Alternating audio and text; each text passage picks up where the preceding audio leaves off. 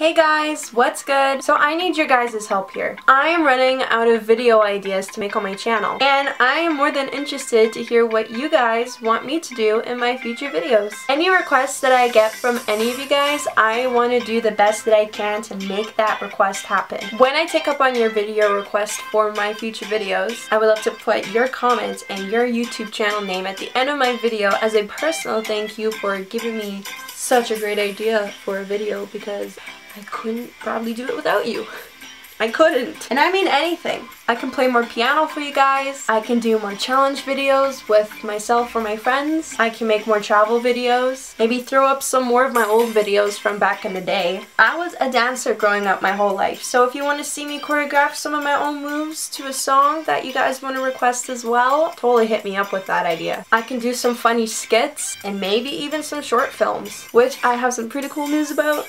It's been a long time since I made my last short film and within the next week I am planning on filming my newest and most proudest creation of a short film 2D to be. I don't know how to say words. I am really proud of this one, you guys. I wish I could give out some details, but I'd rather leave it as a surprise. All I can say is that I want you guys to check it out. I am super proud of it. It's all I can say. It's a very encouraging and inspiring short film, and I really hope you guys like it.